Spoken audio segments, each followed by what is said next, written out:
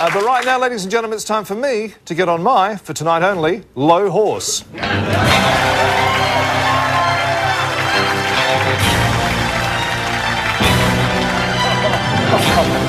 we could have we could have stayed on the wide shot a bit longer. Oh dear, they've really made it easy for me tonight, haven't they? Oh, hello.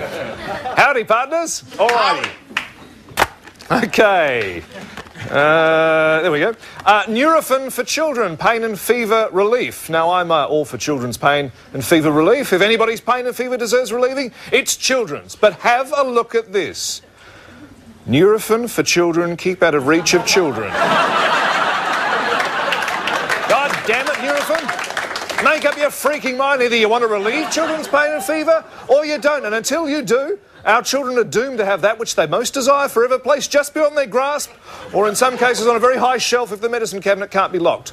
I mean, you, can't, you, you don't see a can of Lynx deodorant for men with the warning, keep out of reach of men, do you?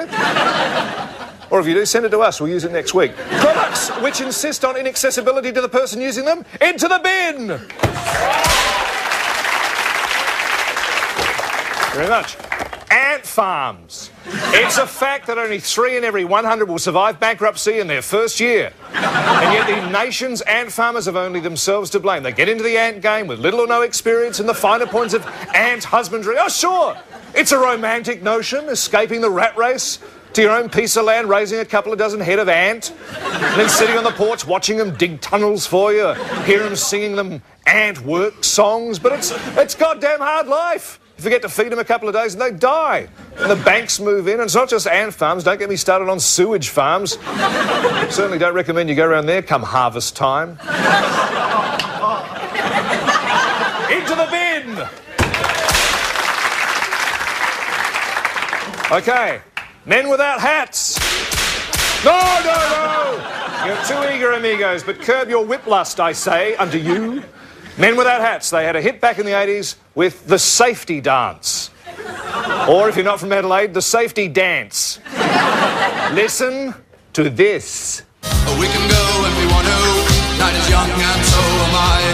And we can dress real neat from our hands to our feet and surprise them with a trick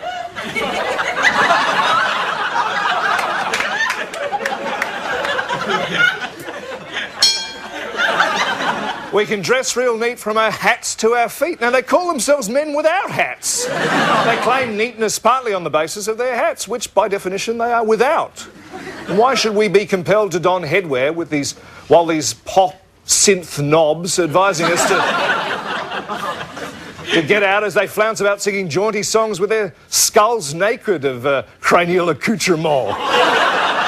That's easy for me to say. Men without hats, probably in the employ of the millinery business. Anyway, which would be both lucrative and ironic. But for now, into the bin!